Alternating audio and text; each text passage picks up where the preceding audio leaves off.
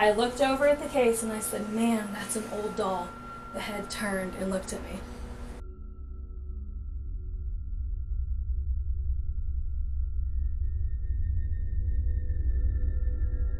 There's a tall, dark shadow in here. He's very intimidating. He watches you, he waits.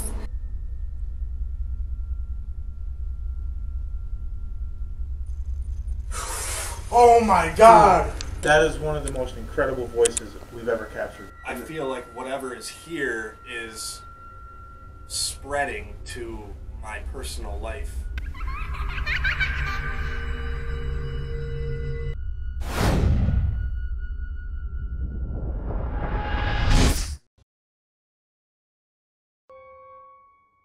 The dollhouse in Greensburg, Indiana has a mysterious and unsolved history. Built in the year 1800, the home only has one documented owner in its past. But rumors of abuse and murder make this a unique investigation for the PBP crew. We took the 500 mile journey to Indiana to find more answers and to confront the alleged demonically possessed dolls inside the home. There was only one other owner besides my grandparents. Um, he never lived here. Uh, he only rented it out. So as for history and stuff, they didn't document a lot of renters um, information. But we do know that one family used to live here, and the only reason um, we know of them is because my father-in-law knew the family that lived here, and um, it was a husband and wife and their children. And um, the husband, he was a mean, nasty guy, uh, alcoholic. He beat on his wife, and um, so one day the husband was here in the living room. While Chelsea is speaking, we hear an unexplained bang come from the kitchen. The husband was here in the living room. here in the living room with his wife, and the son walked in, and um, he saw his dad beating on his mom, so he took a baseball bat and he hit his dad upside the head. Could the noise that we heard in the kitchen be the abusive old man that was killed? We hope to communicate with him further during our investigation. So, um, as for history of the house, I know it sounds crazy, but that's all we have. Um, like solid concrete. That's that's it. Um, we are working with the historical society to try to figure some stuff out, but like I said, renters they don't document anything Right. or at all. So um, So none of these dolls were here originally? no, no. So who, who had the idea of bringing all of them in? So um, when I grew up, my grandmother used to get me a doll every year, and I hated it. They stacked up in my closet in their boxes, and um, I was scared of them, as a lot of people are. So when we got this place, um, we just kind of brought them in. You know, they initiate fear. Sometimes spirit feeds off of fear. So we started putting them in here, and I was like, you know what would be crazy is if this whole place was filled with dolls. And my husband's like, that's psycho, but great, let's do it. So we started buying collections of dolls. Um, most of the dolls, like the nicer dolls, um, they all came brand new in the box with their certificate. That's actually what this door, it's locked because there's so many boxes in there that the door won't stay shut. Oh. so there's no basement, no attic, nothing like that.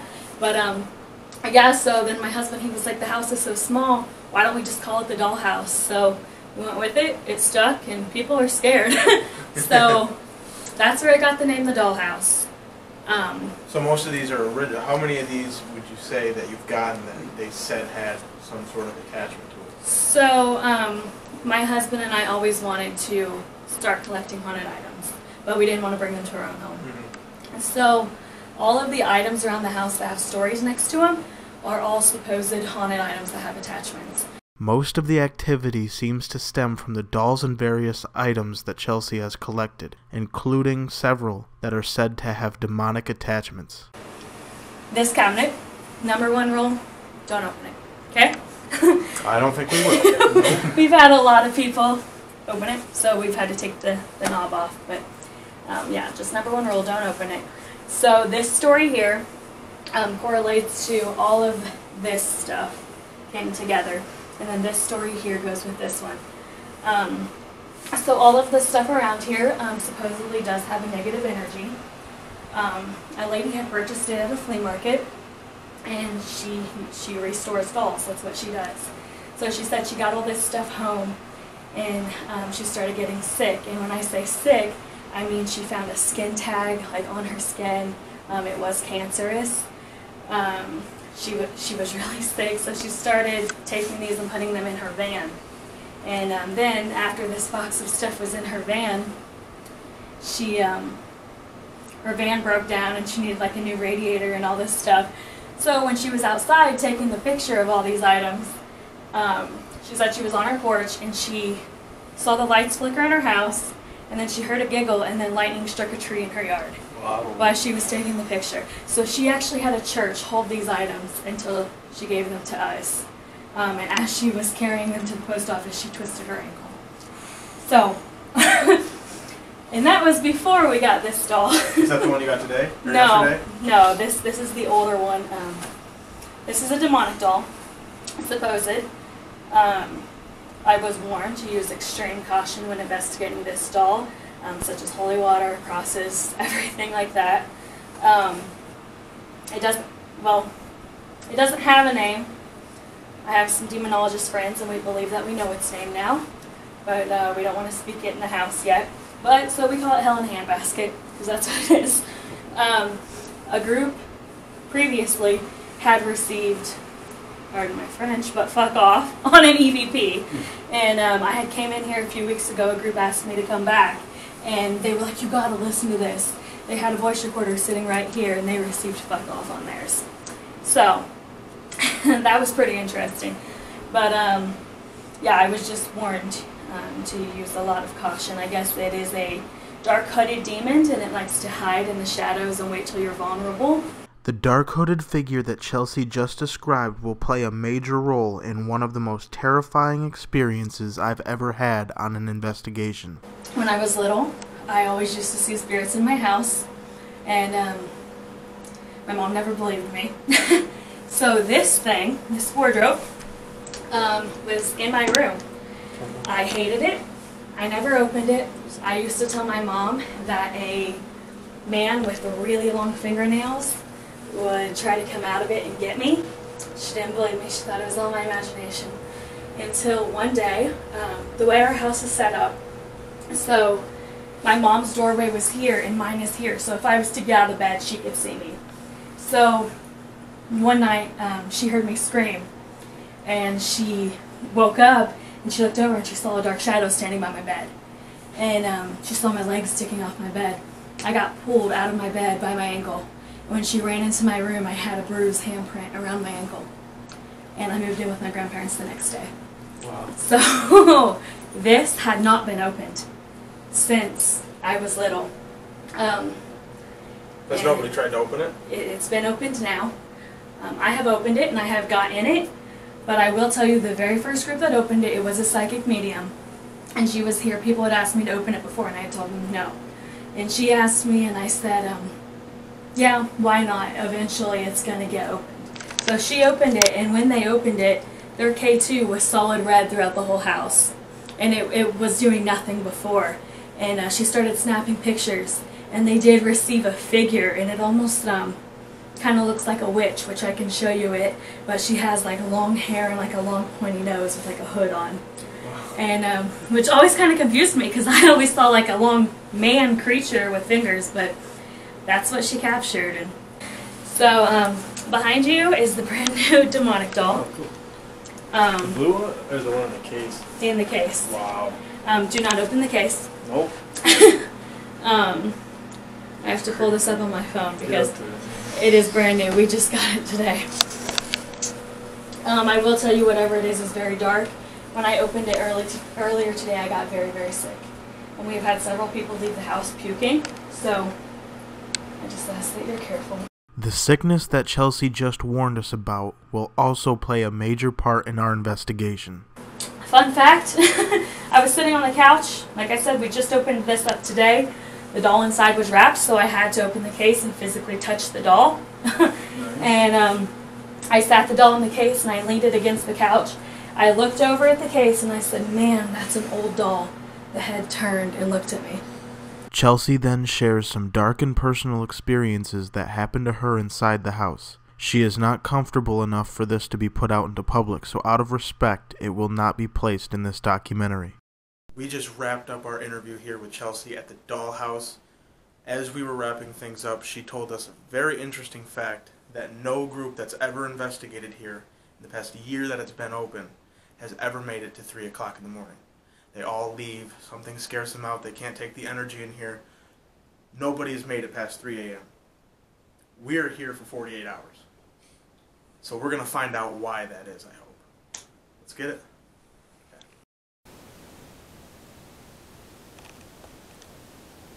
Can you tell us your name?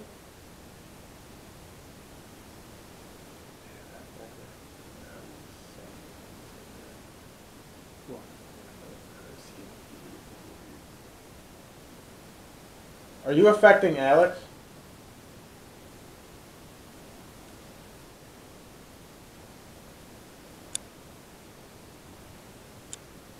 Do you like having people come in and talk to you?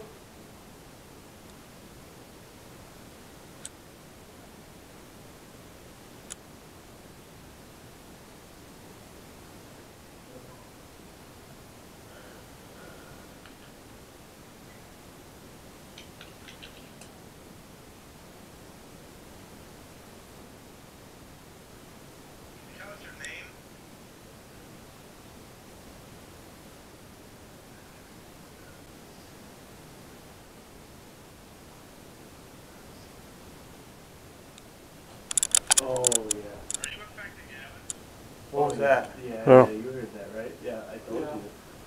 As we're reviewing our recorder, listen carefully and you will hear what sounds like the garbage bag in the kitchen being physically hit.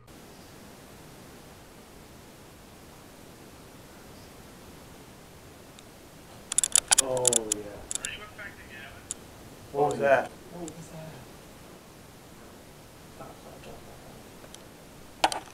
Hold on. I told you. What did it sound like?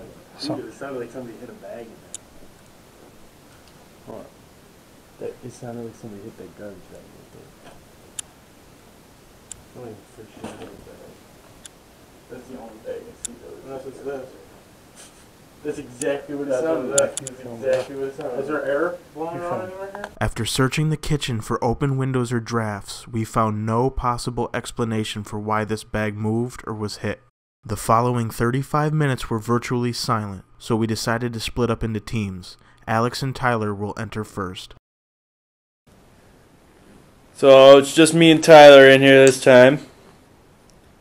Could you start us off just by turning off that flashlight? It's recording. Yeah.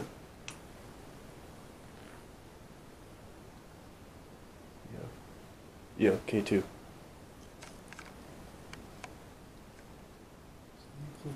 It's the K2 flickering. It's on the shelf right there. Is that you making that flash? Can you do it again? Try to make it go all the way to the red.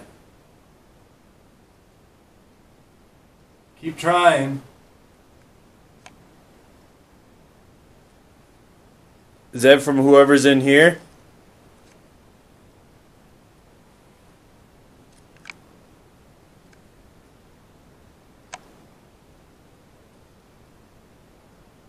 Can you tap on something for us? Bang something? Make a really loud noise for us? Anything you want, any sound you can make.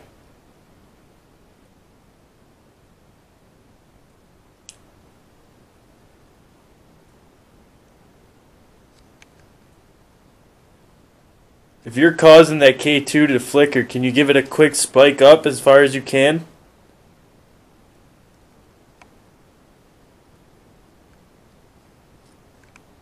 Give it the best grab you got.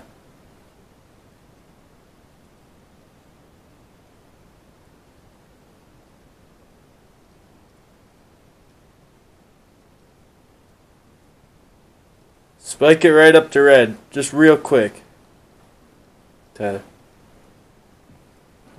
It's it's trying. Can you make it spike to yellow at least?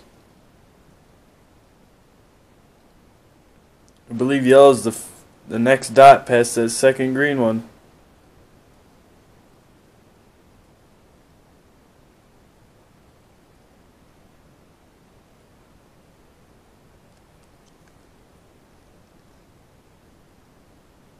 They said no group's ever been in here past 3 o'clock, and it's almost 3 o'clock, and we're still here. What are you going to do about it? Don't say that, Tyler. Don't say what are you going to do about it. We're not here to provoke you. Though it was not his intention to provoke, Tyler may soon regret asking that question. We just want to know why most people are chased out by three.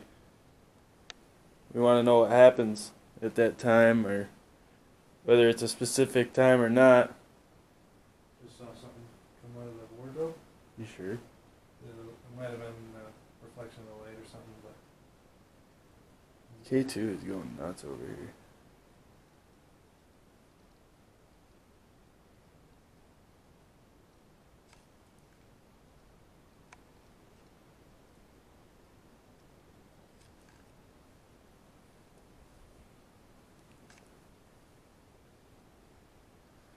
There a name that you can tell us?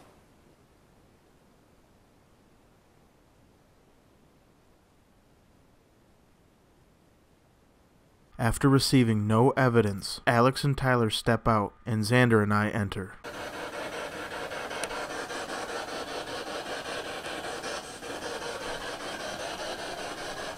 Hello?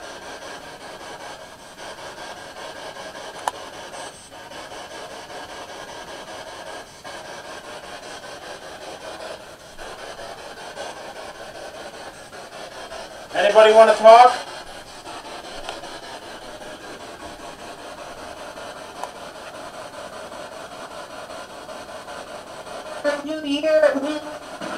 This is one of the most incredible voices we have ever captured. Right after I ask if there's anyone there who wants to talk, a woman comes through and clearly says, Can you hear me? Anybody want to talk?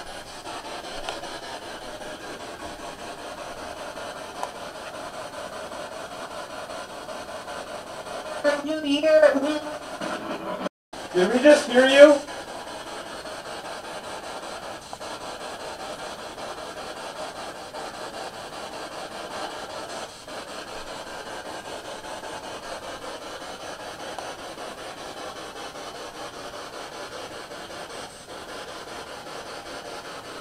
What's in that wardrobe closet?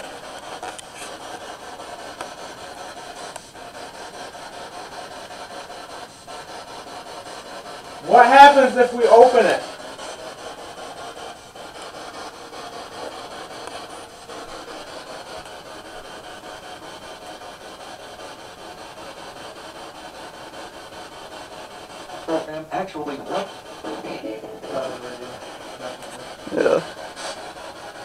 100%. What's in this case right here that was just brought to the house yesterday?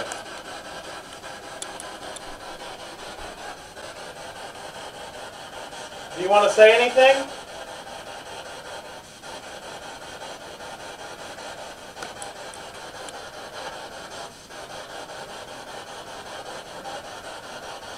Right here, when I put the spirit box up against the case of the brand new demonic doll and ask if it has anything to say, you hear a clear little girl's voice say, No.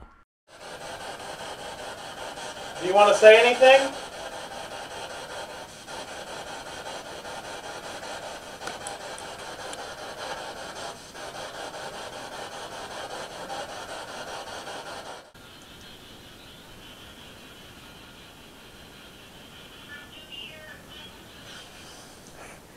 We know you're here. Come on. Like we just want to get to know you. That's all we care about. That is one of the most incredible voices we've ever captured with Spirit Box. Yeah, that was. That's crazy. That's not radio. That was not radio. It is day number two here at the Dollhouse in Greensburg, Indiana. Uh, we wrapped up last night about 4 in the morning, and after we went to bed, Tyler here had some experiences that we didn't find out about until we woke up. So if you want to just take us through s- several incidents that happened Uh, last well, night. Start off with everybody was sleeping. I'm the only one laying here in the middle, right by the doorway. And I keep hearing noises off to my left and right and out this doorway and the kitchen area. And I kept trying to wake everybody up because I kept hearing loud bangs and you know footsteps and all that kind of stuff. And mean, nobody was waking up. And then you had something happen with your debit card or credit card. Yeah, uh, I feel like whatever's here is uh, starting to affect my personal life too, because there's you know other unfortunate events that had happened too um, prior to this. But I got a call about eight o'clock in the morning uh, after a text message saying that somebody had drained my bank account um, from somewhere in New York. Well, yeah, I'm from New York, but we're in Indiana right now, so that's kind of funny. Um, five minutes after I got that text message, I get a call from the fraud department of my card holder. Um, so they shut my card off, so I don't have any money now. And And then your girlfriend got oh yeah, my girlfriend uh, got uh, a notification on her phone saying somebody tried to sign into her Facebook account from a place called Stebbins Corners, New York. Um, she texted me this, and she was she was pretty frightened, and I was you know I was concerned. I was like, "What's what's wrong? What's the problem?" She goes, uh, "Stebbins Corner is is my old house. It's the exact address of my old house, and on that property there was about five deaths. Um, three of them were suicides. Um, and very- she had ex- paranormal she, experiences. she's had there. paranormal experiences at this house before. It, it, it almost led her to suicide herself. There was very dark energy in this property. Um, so And- I and- feel like whatever is here is spreading to my personal life, you know, in a different state. You know, sounds crazy, but that's what it seems like. And then on top of that, he got very sick last night. Yes. What time was that about? It was uh, a little after I got that phone call. Um, I just rolled over. I was trying to get some sleep. I hadn't slept a, a single bit at all. Um, I just started getting pretty nauseous. So I was like, I'm gonna, I'm gonna throw up. And I got up and I ran outside and I threw up all over the place. And Chelsea here said that people do get very sick here and have to leave and throw up.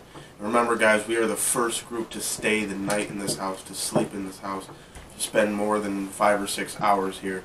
So, and with new dolls, with supposed demonic attachments, like we were kind of blind walking in here a little bit, and we still have a whole night ahead of us, and we don't know how it's going to affect us. We don't know can't say for sure that it's all connected to this house, but it's just awfully coincidental.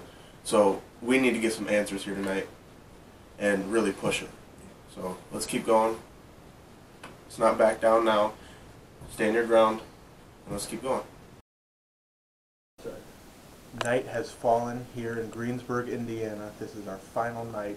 We are going to push it here. We want answers, and we are going to start by opening the wardrobe closet that is said to bring out negative energy here in the home. Okay. Hmm. Here we go. My heart's already just started racing just now.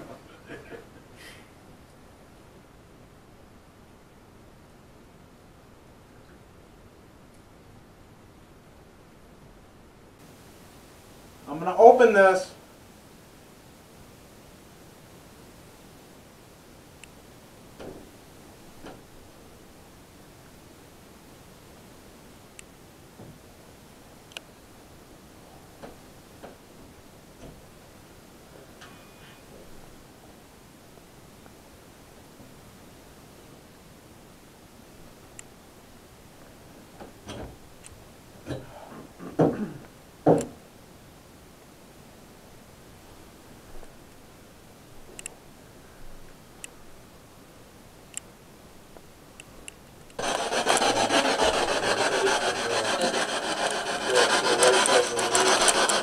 What's attached to this wardrobe closet?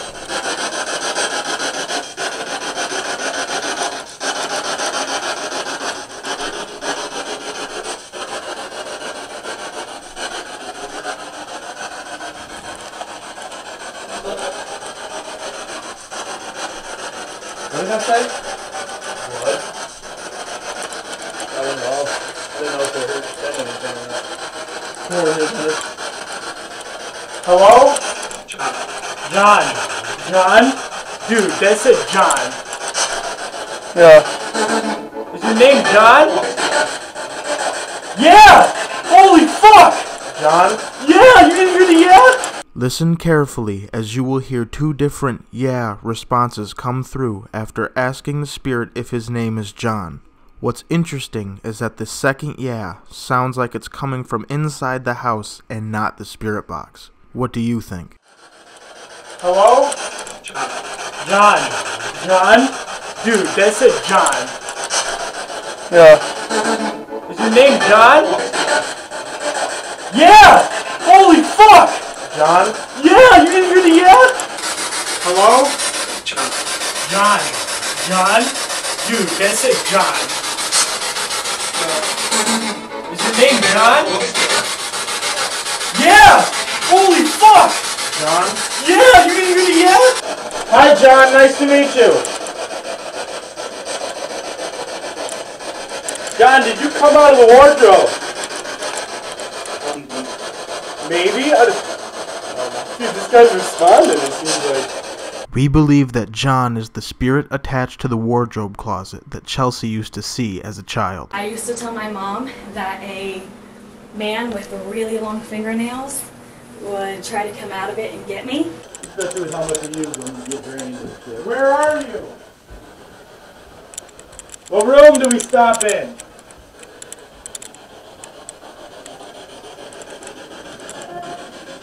We go back to the wardrobe?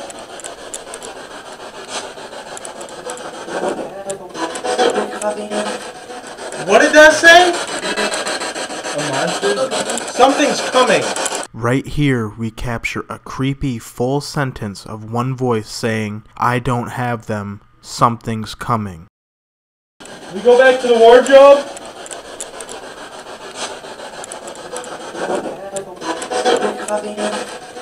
What did that say?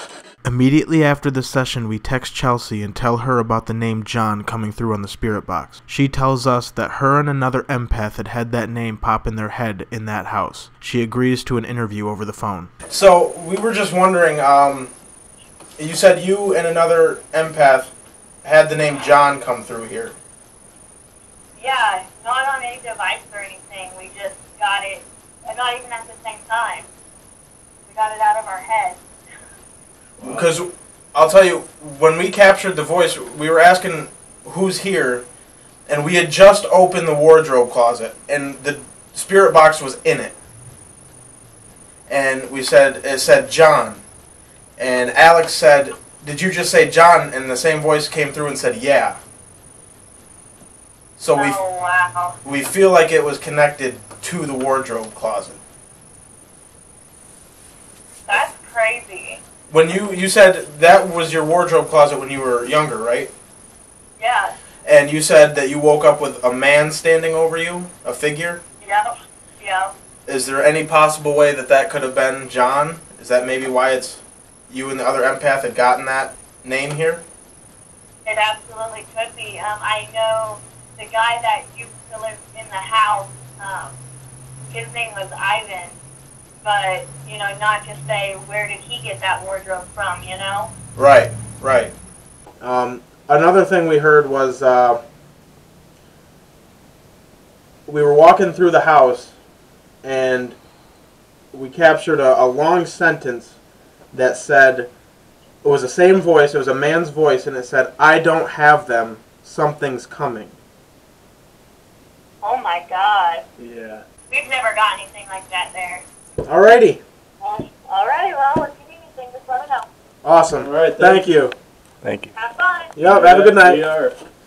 You too. Bye. Yeah.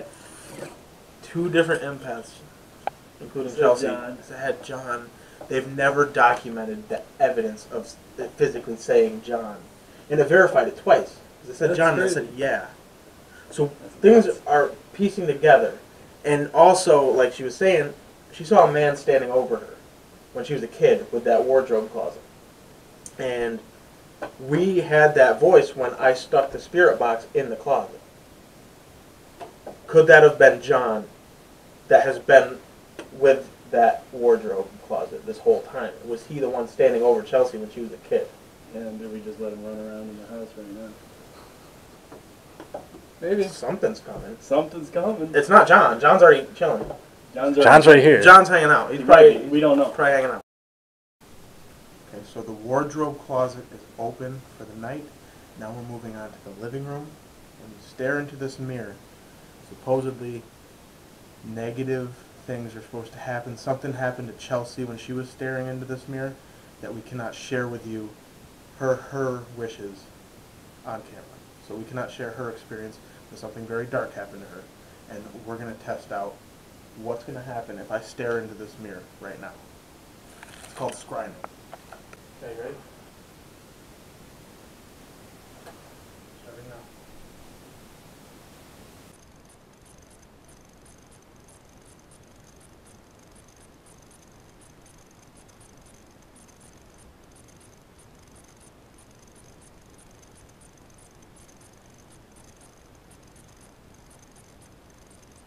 My heart is pounding.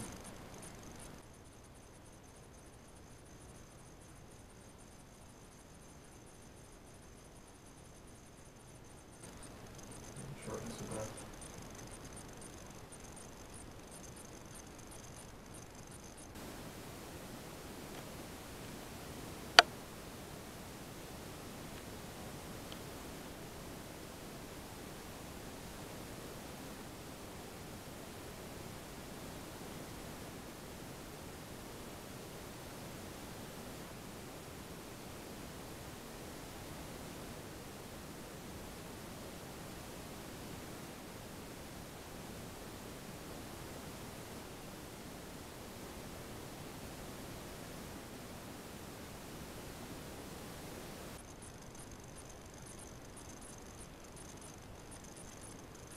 It's so heavy.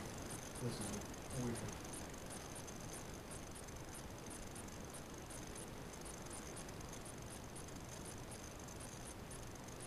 I'm starting to see spots.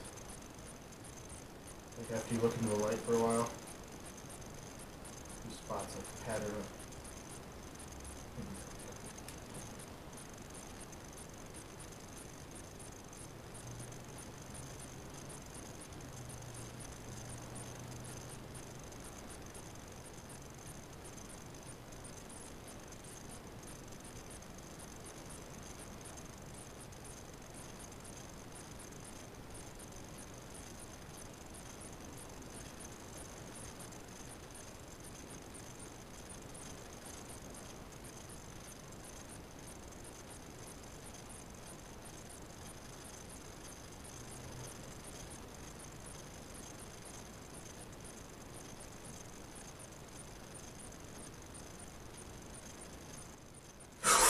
Oh my god!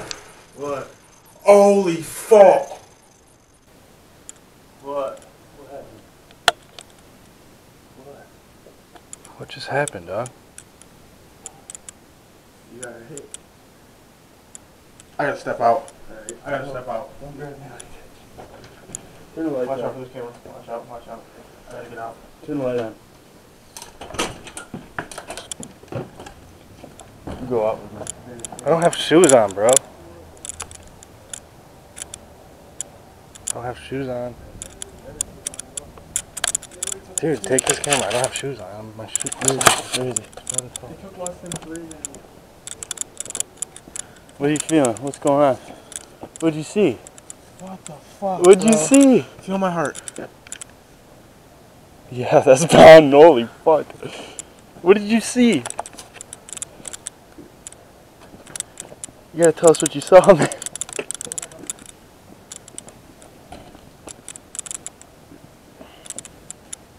You alright? I assume not. I morphed. What do you mean you morphed? I was Dude, I standing there. you were charging at me. I was standing there. I mean, I was nervous going into it. But when I was standing there, my heart started pounding. I could feel it through my chest, like it is now. And Keep it running. then I just, I was feeling so weird. I was feeling heavy. I was feeling anxiety. And there was a fear of looking into my own eyes, staring into it, because it was dark in there, but you could see, you could see, you could make yourself out, and I just started to feel, I started to see spots, like when you look into su- the sun, Mm-hmm. and then you look away, and then you just see, I was starting to see that like all over the place, and then I just locked eyes with myself in the mirror, and for me, it felt like an eternity, but for, it was probably a few seconds, and I just felt out of body. It was it was like I wasn't I was there, but I was looking into somebody else. Like I can't even describe it. Like I was standing outside of myself, looking at myself in the mirror, and all of a sudden, I morphed into, in my own eyes, it's it sounds crazy. I morphed into a. It was just a hooded figure standing. Shut the fuck It up. was a hood. I could see the hood. I'm wearing a hat, but it was a hood that was hanging over, and it was a dark figure. And I morphed into it. And I have never been. I've never felt that fear just get pushed right through me. You scared me when you were like, I thought I saw I, it. I couldn't see you, but I saw you through the lens. I thought you were charging at me, so I was like, oh. shit. There was a sense of pure fear that shot through me, and I had to back the fuck. I had to get out of that house. I'm shaking. I'm shaking. Jesus Christ.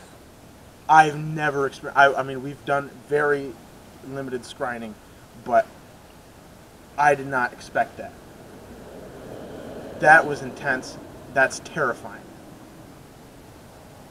I don't want to do that. Let's take a break. Stop. Cut for a second. For a second, just cut. There is a tall, dark shadow in here. He likes to hang out. He's very intimidating. Um, he watches you. He waits. Oh my god! What? The dollhouse in Greensburg, Indiana is truly one of a kind. From countless haunted dolls and items to an unknown history full of stories and legends, the PBP crew could not have dreamed of a better investigation. We gained answers, concrete evidence, and terrifying experiences to go along with it. Pitch Black Paranormal can now add another chapter in our quest to find answers as to what truly lurks in the shadows.